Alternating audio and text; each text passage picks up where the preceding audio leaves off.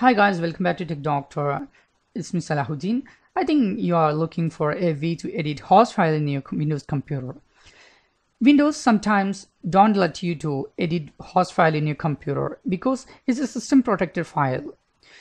But by using that file, you can restrict or block a certain URL. I'll show you an example how to edit the host file and also how to block Facebook from your computer. So let's go directly into the tutorial.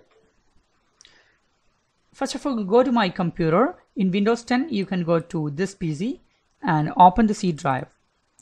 After opening the C drive, you can see the folder name named Windows. Open it and find out the System32 folder. Inside that, you can find the folder named drivers. Open that and open the etc folder. After that, you can find the host file in it and open it with Notepad and when you try any edits and uh, when you save it it says save as. You cannot save it. You cannot you can only save as the file. So uh, this is not what exactly we want. So we can exit and open the property window of this host file. In the security tab you can go to edit and you you have to edit each username or groups here so we can take this one and check. There is no tick mark here. So we can uncheck all these items here and we can check all the items under the allow tab here. So take the next group and uh, there is no deny and check the other one. Yeah write here under the deny we can see the right permission is denied. So we can uncheck that and use this one here also we have the write permission denied. Okay after unchecking all of these and after checking all of these just press ok. Windows security alert uh, you can press ok.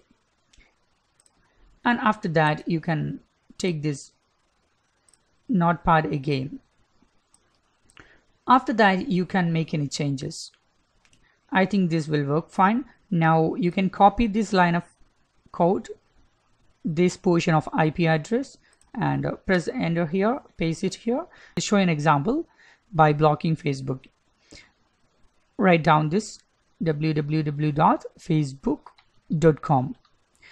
And for some websites that use secured URL, you can write another code here by putting https colon slash slash. And after that, we can try saving this yeah we are successful. It saved very successfully. We can check it again by using whether it has saved or not. Yeah our final edit is here. Now we can check whether the facebook works or not.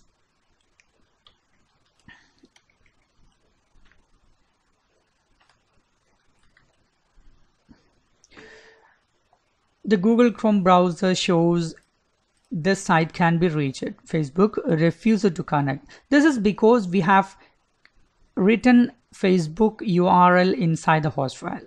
We can check by removing that, URL from the host file here. Again, open with Notepad and remove that line of codes here and save again. Now we can refresh the window. Now it works fine. I think you have loved my tutorial. If you have any doubts, you can leave a comment below or thumbs up if you like it. Also don't forget to subscribe.